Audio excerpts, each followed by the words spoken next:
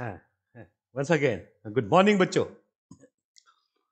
इस लेक्चर में हम लोग पढ़ेंगे बच्चों asexual reproduction in Vaucheria and Vaucheria reproduce asexually by formation of three different types of propagules number one is zoospores which are also called synzoospores और compound zoospores Second one is aplanospores and third one is echinids. First of all, जो ये zoospores बनते हैं, these are very large, massive multinucleate and multiflagellated structures. And these are formed in a aquatic species. These are formed in aquatic species under normal environmental conditions. Means when there is plenty of water in the exterior environment. Okay? At that time, the aquatic species of Vaucheria reproduce by zoospore formation. And second one is aplanospore formation. aplanospore का मतलब एक बात याद रखना बच्चों जो आ लग जाता है ठीक है तो ये प्लेनोस्पोर का अपोजिट हो गया प्लेनोस्पोर्स मीन्स मोटाइल स्पोर्स ठीक है? तो जूओस्पोर भी एक प्लेनोस्पोर है बच्चों। ये याद रखना है। ए लगाते ही ये उल्टा मतलब बन जाता है means non motile spores thus we can say spores are non motile large and massive spores formed in terrestrial species terrestrial species under normal environmental conditions or formed in a aquatic species also when the aquatic species are facing a, a water scarcity conditions. And the third type of propagules are called echinids. These are formed in aquatic as well as in a terrestrial species uh, when there is a adverse environmental conditions means when there is drought there is very much scarcity of water in that case Vaucheria reproduce by formation of these very rough and tough hardy propagules which perinate the unfavorable period ठीक है बच्चों तो सबसे पहले हम zoospore पकड़ते हैं zoospores are also called synzoospores और कंपाउंड जूओस्पोर्स ये क्यों कहलाते हैं आगे के स्लाइड्स में आपको बताता हूँ what happens zoospore are formed at tip of any branch except the hold fast at tip of any branch ठीक है uh, which starts functioning as zoosporangium and how are zoosporangium formed जैसे ही इसको biological message मिलता है बच्चों, ठीक है material start rushing toward the tip of the selected branch material mean protoplasm और protoplasm along with large number of oh good quantity of food material large number of oh photosynthetic apparatus chromatophores and also nuclei start rushing towards the tip as a result the tip enlarges enlarges and it swells up and a septum is laid down at the base of this swollen portion so that this terminal swollen portion uh, gets delimited from rest of the thallus. And this terminal swollen club shaped structure is called zoosporangium or it becomes a zoosporangium. And finally, the protoplast of this zoosporangium will give rise to a large massive zoospore called synzoospore or compound zoospore. And how that is formed? That uh, the protoplast starts shrinking. ठीक है protoplast shrink होना शुरू हो जाता है ठीक है central large vacuole disappear हो जाता है डिसऑर्गेनाइज हो जाता है and there is an exchange between the position of nuclei and chromatophores.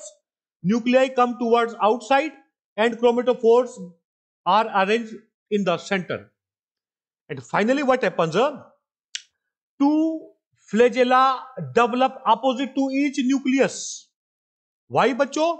Because flagella arise from blepharoplast granules or basal granules or basal bodies which are the structures which remain associated with nuclei ठीक है बच्चों, इसमें हमको ज़्यादा detail में जाने का ज़रूरत नहीं है।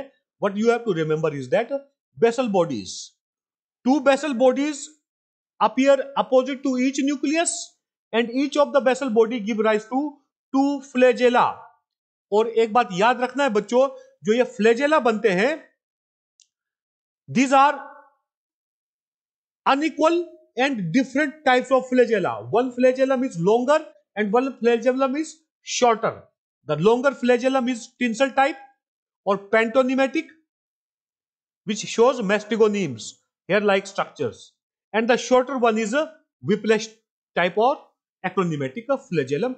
So this type of a heteroconty condition, having two different types of flagella, is the feature of a class Xanthophyceae. In the members of class Xanthophyceae, whenever flagella are there, they are they are of two types ठीक है that means there is heteroconty condition and finally we get a large zoospore called synzoospore which releases from parent body by gelatinization of distal wall the wall present in the distal portion gelatinizes and this large synzoospore is released ये मैंने थोड़ा जल्दी में इसलिए बताया बच्चों, ठीक है? इस सेशन को आधे घंटे से ज़्यादा नहीं ले जाना है। आगे मैंने स्लाइड्स बनाया है, इसमें एक एक करके मैं रीड करता जाऊँगा बच्चों। During favourable condition aquatic species of Vaucheria reproduce asexually by formation of large multinucleate multiflagellated zoospores called synzoospores और कंपाउंड जुओ स्पोर्स ये वाला डायग्राम आपको ड्रा करना पड़ेगा मेरे प्यारे बच्चों। ठीक है? ये डायग्राम आपको ड्रा करना है। And since your spores are formed inside a large club shaped structure call zoosporangium and they are formed singly inside are zoosporangium and zoosporangium may be formed at tip of any branch during the formation protoplasm starts rushing toward the tip along with large number of nuclei and chromatophores. As a result, the tip swells and becomes club shaped. A septum is laid down just below the swollen portion which delimits the terminal swollen portion from rest of the thallus and that delimited terminal swollen portion which is club shaped it becomes zoosporangium. And centrally, next what happens? Centrally located uh, vacuole disorganizes and there is an exchange between the position of a uh, nuclei and chromatophores. How? That is, nuclei move towards periphery whereas chromatophores come to lie towards center. Now, next, what happens? Protoplast starts shrinking and gets detaches from inner wall inner कौन सा wall बच्चों? किस चीज़ से बना होता है inner wall cellulose plus pectin से। And a pair of flagella develop opposite to each nucleus ठीक है? और flagella are of different two types ये आप लोगों ने लिखना है तो लिख लो। अगर नहीं लिखना चाहो तो नहीं लिख सकते। ठीक है, कोई ज़रूरत नहीं है। And finally that protoplast changes into a large multiflagellated comma multinucleate multinucleate zoospore and zoospore is release by gelatinization of distal wall of zoosporangium and it generally takes place in early morning hours. Each zoospore is a large, multi-flagellated and multinucleate structure and it is called a synzoospore or compound zoospore. Why bacho? Because a part of cytoplasm along with because a part of cytoplasm along with one nucleus and two flagella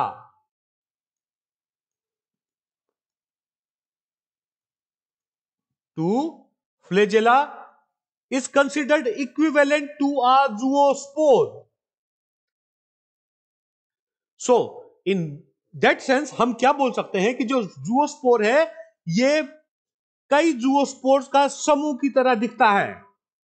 इसीलिए इसको एक compound zoospore भी कहते हैं या एक सिन zoospore भी कहते हैं। ठीक है, एक बार फिर रिपीट करता हूँ। Why they are said it is said synzoospore और compound zoospore because a part of cytoplasm along with one nucleus and two flagella is considered equivalent to a single zoospore that is why कई बार exam में प्रश्न आ जाता है बच्चों इस पर। And liberated zoospore swims in water for few minutes then settles at bottom retracts its flagella synthesizes its cell wall and finally germinates by giving out two tubular outgrowths for that you have to draw this diagram also बच्चों ठीक है और यहाँ पर समझाने को ज़्यादा कुछ नहीं बचा है आप ठीक है पर ये जर्मिनेशन वाला पोर्शन है and what you are observing here that uh, the zoospore it is sending out or it is giving or it is producing two tubular outgrowths and these two tubular outgrowths finally develop into uh, new thallus of uh, Vaucheria. So this is it. Second one is aplanospores or aplanospores are formed in a terrestrial species under normal conditions or in aquatic species under uh, drought conditions. मेरे प्यारे बच्चों and these are large massive non motile और non flagellated and multinuclear structure this is the diagram you have to draw the process is same to that of synzoospore formation except that there is no flagella found और form in case of aplanospores तो this diagram you have to you have to draw while explaining the aplonospore formation ठीक है बच्चों okay ये मैंने colour कर दिया है थोड़ा सा कंट्रास्ट लाने के लिए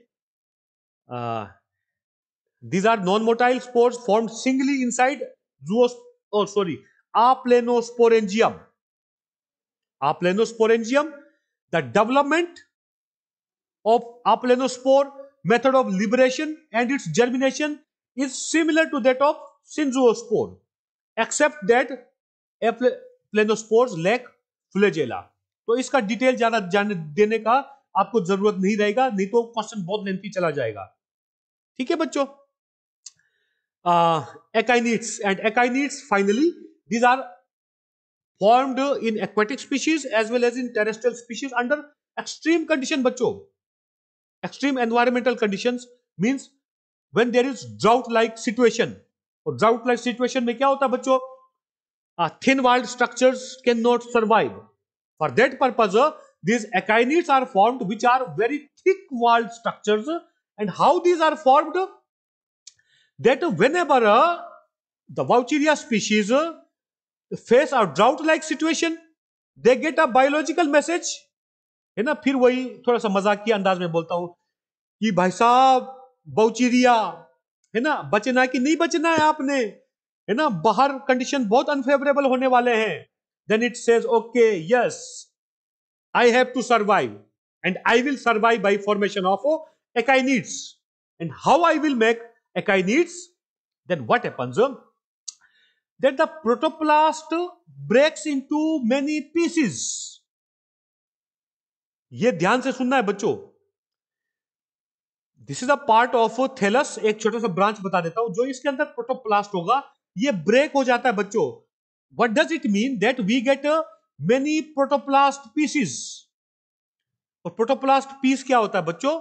Cytoplasm bound by plasma membrane and naked structures ठीक है? And these protoplast uh, synthesize a thick cell wall. Thick cell wall. And that thick cell walled structure enclosing a live material called protoplast it becomes our echinete and echinete survive they perinate they pass over unfavorable conditions even after breaking off the parent wall and on approach of favorable conditions they germinate and give rise to new vegetative thalli or thallus echinites are formed in terrestrial as well as in aquatic species under extreme environmental conditions. And how they are formed? During drought situations, protoplast of Vaucheria breaks into many pieces and each protoplast piece synthesizes its own cell wall, a thick cell wall and become a becomes an echinete. These thick-walled structures can pass over unfavorable conditions periods even after the breakdown of a parent wall and on approach of favorable periods echinites germinate to produce a new vegetative thallus or the plant body of a Vaucheria. Now last point बच्चों जब ये जब ये एकाइनिट बनाता है उस समय में जो दिस स्टेज और we can say that the akinete stage of Vaucheria resembles to a green alga called Gongrosira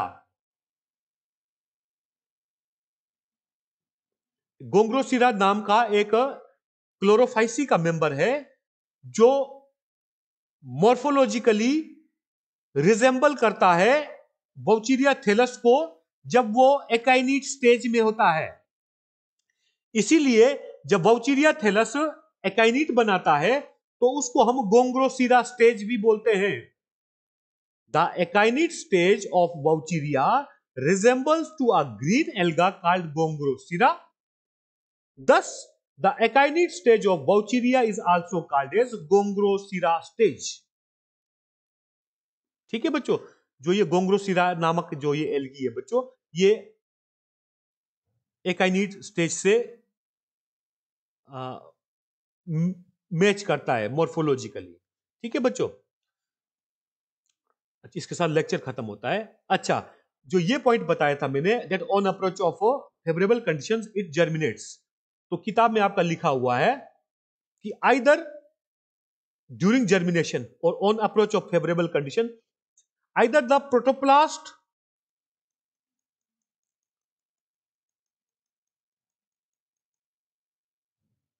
intactly it germinate to produce a new vegetative thallus of बॉक्सीडिया और द प्रोटोप्लास्ट में break in to further smaller pieces.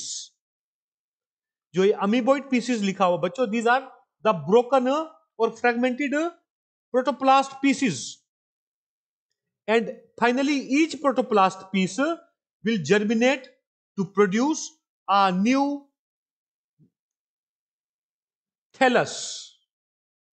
New vegetative thallus तो ये point भी अगर आप लोगों ने लिखना है तो लिख सकते हो, ठीक है? अगर आपको लिखने की इच्छा नहीं है तो ये छोड़ भी सकते हो, बच्चों, कोई बात नहीं। और फाइनली इस पॉइंट को मैं फिर से रिपीट करता हूँ that on approach of favourable condition akinetes germinate to produce a new vegetative thallus either in intact form that means the protoplast of each akinete germinate to give rise to a new vegetative thallus और the protoplast breaks into fragments and each fragment uh, then synthesizes its own cell wall and germinates to produce a new vegetative thallus of Vaucheria. With this, our lecture finishes. So see you tomorrow, bacho.